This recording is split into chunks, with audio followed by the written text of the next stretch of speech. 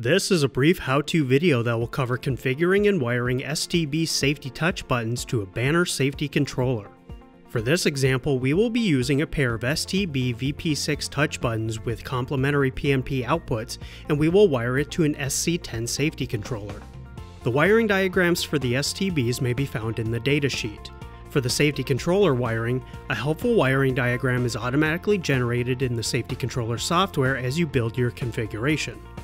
Begin by creating a new configuration in the software. The software provides various configuration examples that include two-hand controls, but for this example, we will focus solely on a single pair of touch buttons with no extra logic.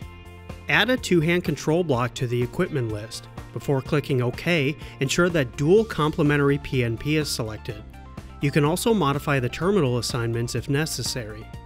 The software also provides a two-hand control function block which allows you to incorporate the STBs into more complex controller logic as shown in some of the two-hand control example configurations. Finish adding any other equipment and logic required for your application, connect them to the safety output, and write the configuration to your controller.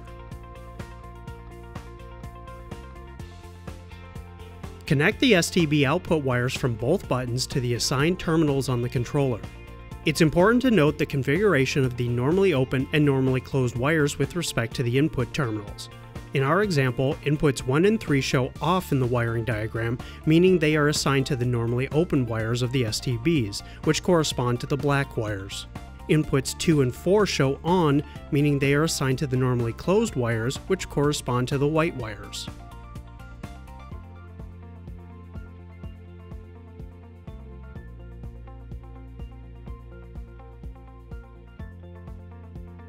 Next, connect the brown and blue wires from the STBs to the 24 volt and 0 volt terminals of the controller respectively.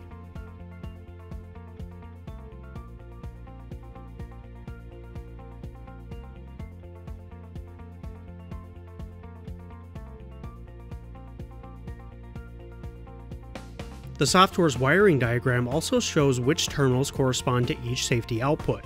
For example, Safety Relay Output 1 on the SC10 uses terminals 13 and 14, 23 and 24, and 33 and 34. Connect the machine control circuits to the first terminal of each pair and connect your machine contactors to the second terminal of each pair.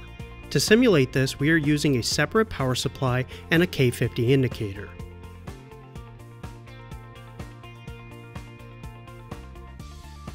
Lastly, connect a 24 volt power supply to the safety controller.